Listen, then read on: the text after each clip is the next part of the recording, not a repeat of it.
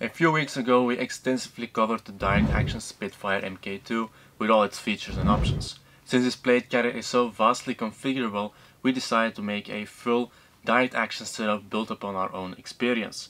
The result of this is what's standing right here. And in this video we will be giving you all the details about it.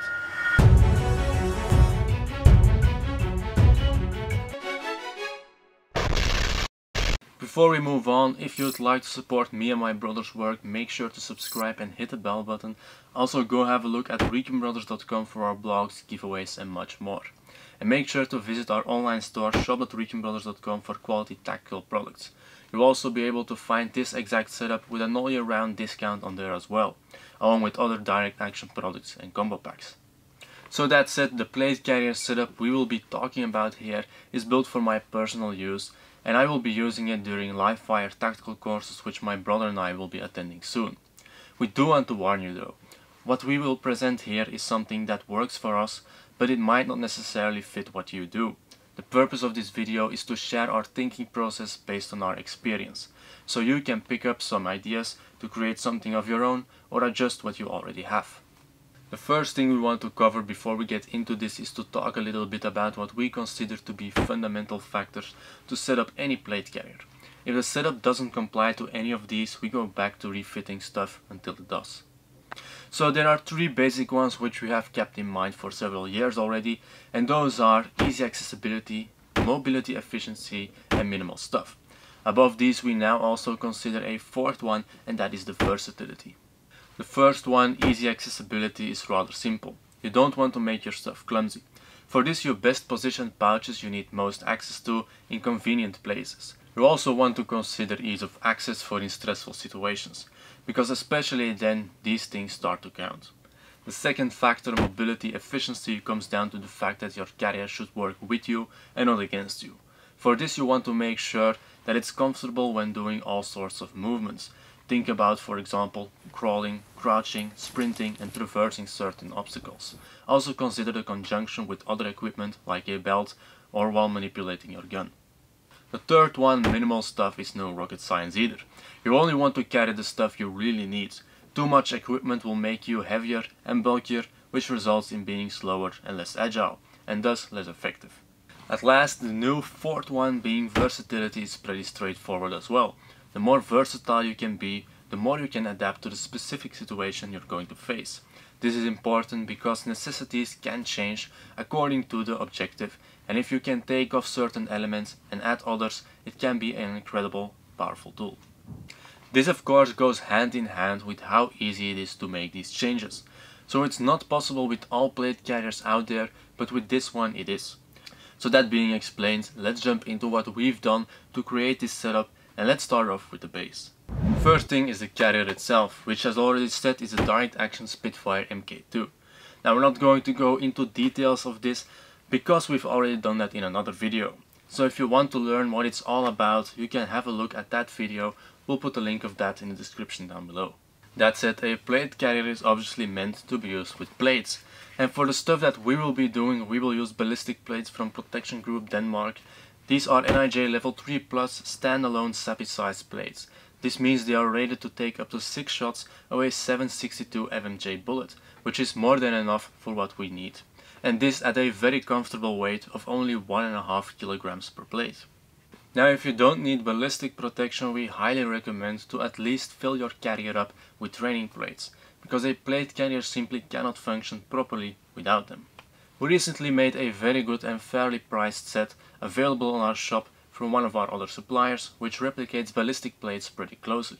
They have the same weight, shape, curvature and they can break, which makes them ideal for any purpose that doesn't require ballistic protection. So if you're interested you can go have a look at the plate section on our shop. So now we have the plate carrier, we have the plates, and the first thing that we added to it is the Direct Action Spitfire Comfort Pad set. This is a set of 6 pads in total whereas there are 2 for the front, 2 for the back and 2 for the shoulders. We found out after usage that these quite significantly improve comfort, because the plate bags inside is a rather thin material on the Spitfire MK2. They also improve the airflow and moisture management on your body and they are really easy to attach and take off again, thanks to the velcro in their design. And above that they're easy washable and replaceable, so in our eyes they bring a great value and that's why we included them. All this together forms our core base. So now we'll show you what we've done with the rest of the carrier to create this setup. A small note first, we're right hand dominant shooters, so we'll explain everything for that purpose. If you're a lefty, you just have to mirror the idea. So let's begin with the front plate bag. The very first thing that comes to mind for the purpose of shooting is the need for ammo, and thus magazines. Of course, the more the better, but keeping the weight and bulkiness in mind with the objective is the art behind it. Going from our experience with both tactical courses and force on force experience from Airsoft, we can say that a good practical balance can be found somewhere between 5 to 8 rifle mags and 2 to 4 pistol mags, counting both on the carrier, belt and in the guns. This gives you on average an ammo count somewhere between 150 up to 240 rifle rounds and 30 up to 60 pistol rounds. We personally opt to carry 4 rifle mags on the plate carrier that are easy in access and one on our belt for emergency access. In order to do this, we have chosen to use the Spitfire triple rifle magazine flap on our front. Why this one? Well, it can take up to 3 AR, AK and SR mags, which immediately covers the most common rifle platforms out there. It also uses shock cords for retaining of those mags, which is certainly not an unimportant feature. The pull tabs on there are also made of an anti-slip Hypalon material that make handling much easier than with other designs out there. This flap is also adjustable in retention and its surface is covered with laser cut PALS for modular possibilities as well. And above that, if you don't like the risk of getting plastic fragments in your face with its buckles, they can be removed and you can attach the front panel without those onto the plate bag. Now on the outer left side of this, we positioned a direct action speed reload pistol pouch as well. This one serves a special purpose besides the ones on our belt. We keep this one empty to perform a tactical reload with our pistol. This is mainly interesting to do here because it's way closer to your work area than your belt and thus also faster. The good thing about this one in particular is that its profile is quite low and it doesn't have the potential to break when hitting the ground.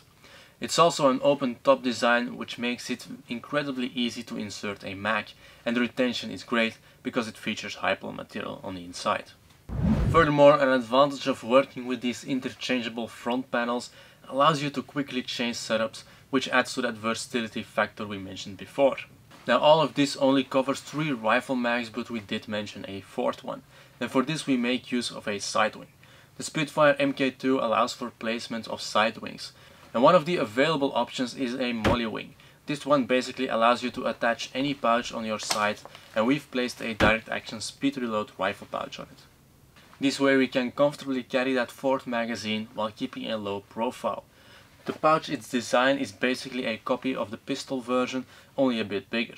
So drawing and reinserting a mag goes pretty easy, while the retention is great as well. You also have the option to add a shock cord to this one if you'd like to. The advantage of doing it like this is of course that you keep your dominant side as free as possible for drawing of your sidearm. Plus, if you face your magazine forward, you also have a way to draw that mag while shooting from your other shoulder. Moving on, we come to the other wing side, and here we've utilized this spot for a direct action Spitfire comms wing. This wing pouch allows you to carry almost any type of radio right next to your plate, since it is adjustable in height and width. The advantages of carrying it right here is the fact that you can easily access your radio yourself while maintaining that low profile. Now we do know that some people may not like it this way because it can press too much against your ribs, but this is a matter of trial and seeing whether it works for you. If it happens to not work for you, there is also a backup plan whereas you wire the radio over your shoulder into a pouch on the back panel. Together with the radio comes the placement of the PTT, and for this the Spitfire MK2 is provided with PTT spots that immediately provide a sensible 45 degree placement. If we're talking about cable management that can easily and neatly be done with the Velcro cable and tube managers present on the carrier. With these you can manage your cables up front or wire them over your shoulder to the back if you place your radio over there. The same can be done of course with a tube for your hydration system. Next thing we lay our attention to is what is not present on the front and we have some valid reasons to do that. First thing is that we don't use any sort of admin pouch or phone case on top. This mainly because it highly obstructs the access to our magazines in our experience. Also the Spitfire MK2 already has a pretty spacious built-in zippered pocket so you can store some stuff in there. The next thing we rather avoid is the use of an under pouch. This because these things have the tendency to dangle quite a bit and this is pretty annoying in the first place. But also secondly they limit the movement capabilities of your upper body quite a bit. Getting into a simple kneeling position for example can already be quite a hassle from what we've experienced.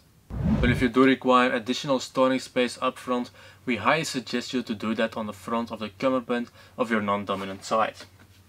Since it's easy accessible by yourself this way and won't restrict important movement a lot. So with that said we now have fully covered the front plate bag, let's have a look at the back plate bag. The back plate bag is just as the front one a fully interchangeable panel. The one we attached in particular is the version we believe gives most people everything they need with the use of just this one panel. And this is the Spitfire Assault panel.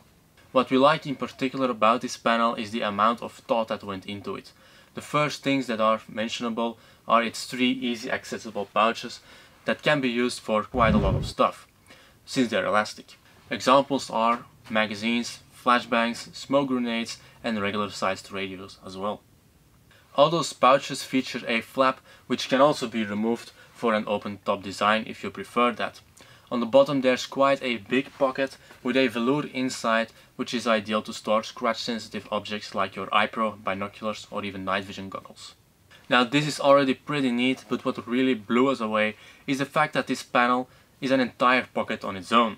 Meaning it allows you to store a hydration reservoir into the back so there's no loss of value space thanks to this. This flat pocket allows you to store other stuff as well, like a big wire cutter or a crowbar. That's everything regarding the back, let's now go over to the cummerbunds. The Spitfire MK2 standard comes with slim elastic cummerbunds, which are great for a low profile and simple setup. But once you start using side wings they don't work so well. We tested it when everything was in place and we came to the conclusion not to use these because they moved down and didn't keep everything retained as how you set it up. So our solution was to provide cummerbunds that didn't have this problem. We looked for the available options and the most interesting ones for us were the MK2 Rapid Access cummerbunds and the MK2 Modular Cummerbund Slim. The rapid access one features bell slots on the outside and rock buckles to open and close the cummerbunds without making use of the velcro. It also has an inside pocket to use side plates or soft armor panels. The slim modular cummerbund is a more advanced version of the standard elastic ones, so to speak. This because it maintains the same low profile but with bell slots to attach additional equipment.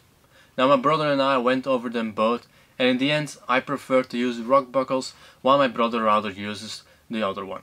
So we had a difference of opinion here and thus we simply decided to make them both available because they both passed our requirements. So for those that are interested in this setup, you can make your own choice.